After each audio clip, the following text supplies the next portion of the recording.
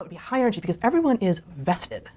Everyone has a question that they really think is theirs, and they also, interestingly, almost always have an answer that they think is right. Whether or not they have any basis to think it's right, they haven't done the science, right? They haven't actually gone out and tested the hypothesis. They've done the first parts of the science. They've made an observation, they've posited, they've asked a question, they've posited an explanation, which is a hypothesis that might answer that question.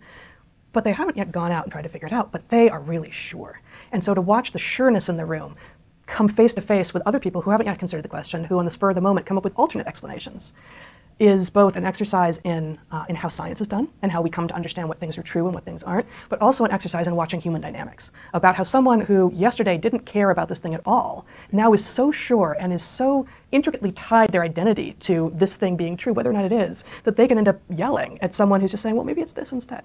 And so you, you actually begin to get real group cohesion out of the chaos of people disagreeing, sometimes stridently, sometimes angrily with one another, because all it takes is a step back to say, okay, how would we know?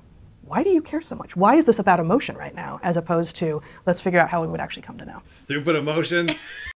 Her point is so good though of like that is why typing is so damn hard. Right. It's not the information, it's not the coins, it's not the class. It's like have you put in lots and lots of hours of dealing with the exercise of that bias monster. Right. That can't be done from watching videos or learning about it or whatever. It comes from hours of going, let me put myself in a situation where I'm going to watch my crazy bias monster be like, uh, Yes, that. right. And then let me work my way through it. That's why for me, but no, I don't know anything. Everybody else doesn't agree with me, so do what you fucking want. For me, the biggest thing about learning how to type is by doing your dishes and your chores and your relationships because there you can get much smaller, more frequent interactions of I'm an arrogant, know-it-all, biased asshole, and I'm getting caught, and you can work through that muscle. You versus objectivity. Because it's it's there's a difference between we keep seeing this more and more in, in so many things. It's there's consciousness and responsibility, and one like overdoing one doesn't help you with the other. Right. And everyone in the age of the internet, I know this is like you know low consume speaking here, so so warning, but it's like. Everyone is like, well, I'll just I'll just learn more about the thing, and then I'll know how to do it. You know, I'll, I'll just I'll just play war games, and therefore I know how to do real war. What she's saying there, yes. I love that. be- You know, my FI loves that because it's like that's the shit we see all day. Yes, she has a is how you classroom. She's like, here's let's do an experiment. oh, you all fucked it up because you're so angry and biased and yelling at each other.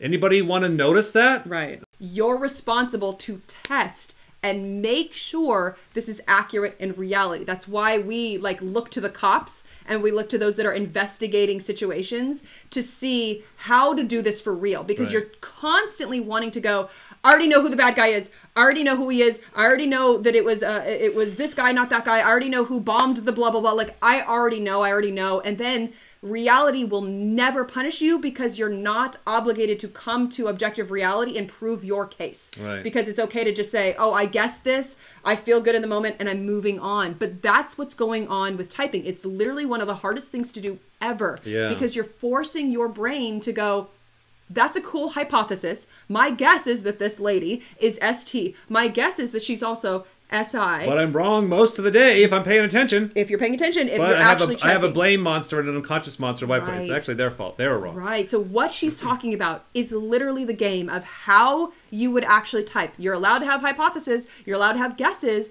but are you actually then able to, this is how you would test it, predict her patterns in reality. This much, knowing this much about her at this point, Right. I should be able to write on a napkin and say, she's probably eventually going to tell me some fear story fear based story about oh my god uh you know chaos of things and you know scary scary uh d- no more chaos blah blah blah. That's what my guess would be. I don't know fill in the sensory blanks but i'm supposed to be able to predict this person's patterns over time. That's how you would start going let me test my hypothesis. Have you ever tried to write on a napkin? you gotta have like the perfect pen for that. it's so true It's gotta be like a sharpie fine point. yeah one of those ones that just wants to write Yeah. it does it desires to write. I can't write even get my pens to write on binder paper.